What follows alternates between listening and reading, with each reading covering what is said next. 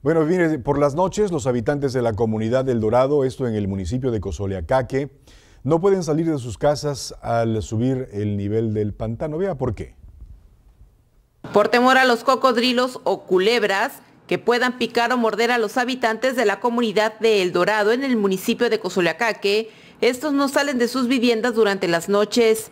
Y es que el desbordamiento del río Coatzacoalcos ha ocasionado que el nivel del pantano también aumente. Es durante las noches cuando se presentan los problemas en esta comunidad. No es tanto la lluvia, sino el agua que viene bajando de otros lugares, lo que es Mina y pues el río Coatzacoalcos que igual ya está desbordado y es lo que nos, nos viene hacia nosotros. ¿Agua de pantano con agua de río? Es agua de pantano con agua de río. Son 15 familias las que se encuentran refugiadas en el albergue. Otras 50 permanecen en sus viviendas al no entrarles el agua a sus hogares solo que para llegar a ellas deben hacerlo en lancha o en medio del agua. Un metro como ahora sí más a la orilla y ya para más hacia el fondo es metro y medio que llega a alcanzar el agua. ¿Animales que hayan salido hasta ahora?